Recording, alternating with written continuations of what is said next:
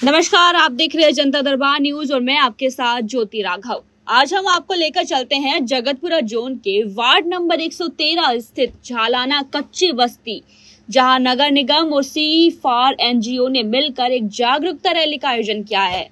इस रैली का मुख्य उद्देश्य स्वच्छता का संदेश फैलाना और वार्ड को आदर्श वार्ड बनाने की पहल को मजबूती देना था। रैली की शुरुआत नगर निगम कमिश्नर रुकमणी रियाड द्वारा स्वच्छता पेंटिंग से हुई, जिसमें उन्होंने खुद ब्रश उठाकर दीवारों पर सुंदर और प्रेरणादायक चित्र बनाए। इस पेंटिंग का मकसद सिर्फ़ सौंदर्यकरण नहीं, बल्कि लोगों में स्वच्छता के प्रति जागरूकता पैदा करना था।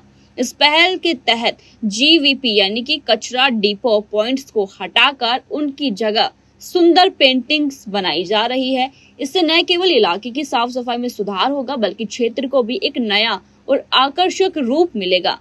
रैली के दौरान सीफार एनजीओ के सदस्य और स्थानीय निवासी भी शामिल हुए।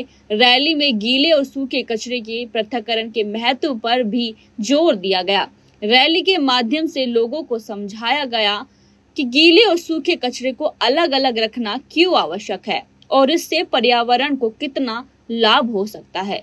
इसके साथ ही नगर निगम और एनजीओ के सदस्य लोगों को स्वच्छता के प्रति जागरूक करने के लिए विभिन्न गतिविधियों और कार्यक्रमों का आयोजन भी कर रहे हैं।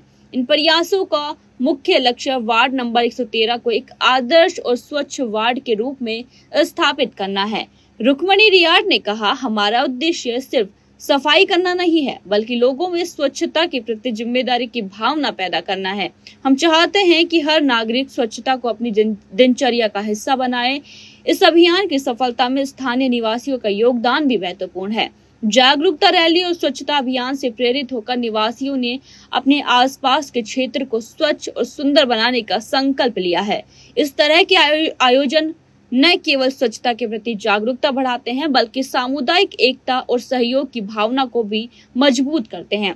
वार्ड 113 के लिए यह एक महत्वपूर्ण कदम है, जो आने वाले समय में और भी प्रेरणादायक बन सकता है।